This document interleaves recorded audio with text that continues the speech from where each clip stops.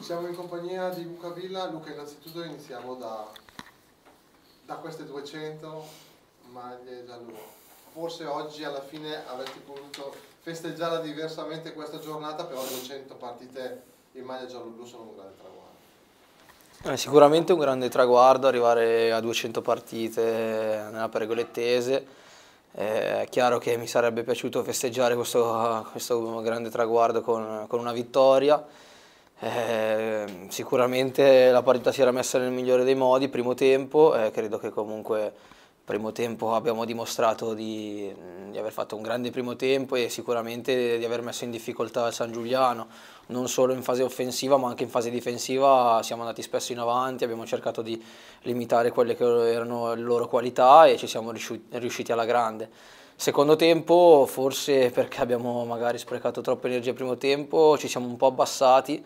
e abbiamo concesso qualcosa in più, loro poi con un paio di cambi hanno cambiato anche il loro modo di, di giocare perché cercavano più la fisicità di Miracoli che, che è un, un, giocatore che conosciamo e un po' siamo andati in difficoltà sulle seconde palle, ci siamo un po' abbassati e poi quel gol col tiro da fuori che era evitabilissimo perché comunque ha calciato indisturbato e nasce da una rimessa laterale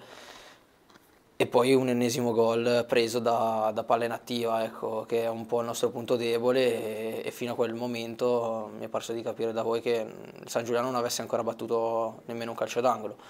Eh, sicuramente eh, è una partita che poteva essere portata a casa benissimo e oggi i tre punti valevano doppio perché anche le altre partite che interessavano a noi delle 14.30 sono finite tutte in pareggio, quindi tranne la vittoria della Triestina con l'Albino Leffe però adesso ormai è passata. È un pareggio che fa male sicuramente perché comunque quando sei in vantaggio di due reti devi cercare di chiudere la partita e di non,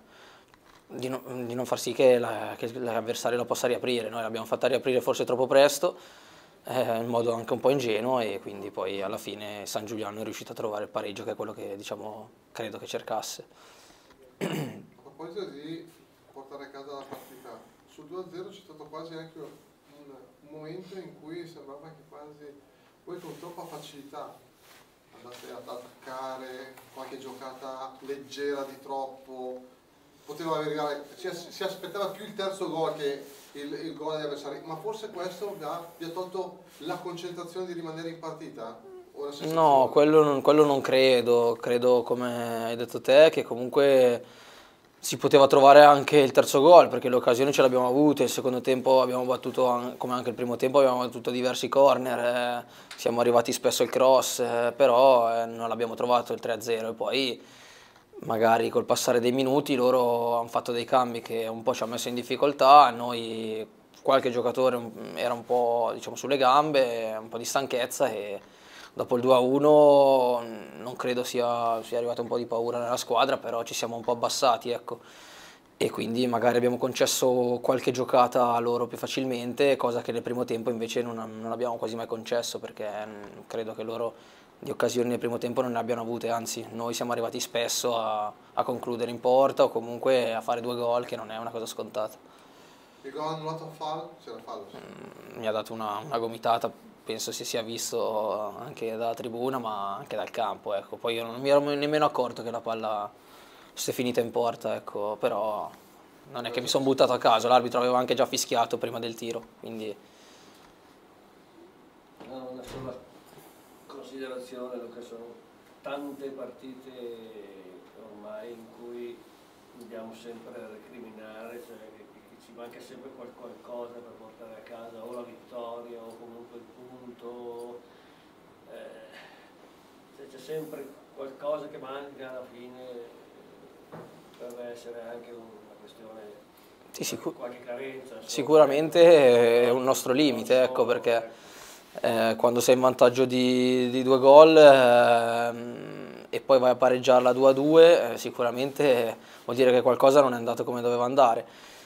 già in altre occasioni purtroppo magari abbiamo preso gol nei minuti finali o magari mh, abbiamo avuto un po' di rammarico al termine della partita perché non abbiamo sfruttato al meglio le occasioni e poi magari non abbiamo portato a casa quello che meritavamo.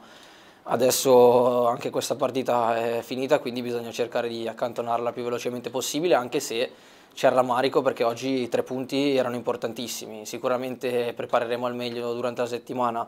eh, il prossimo impegno contro la Pro Patria che è una squadra che conosciamo, sappiamo che è una squadra comunque che ha grandi qualità e ha trovato anche un sistema di gioco che gli dà sicurezza e che gli ha permesso diciamo, di ottenere tanti punti e trovarsi in una posizione comoda di classifica.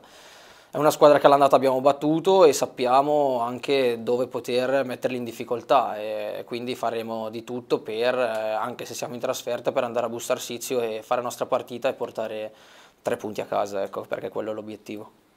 Va bene, grazie. Grazie.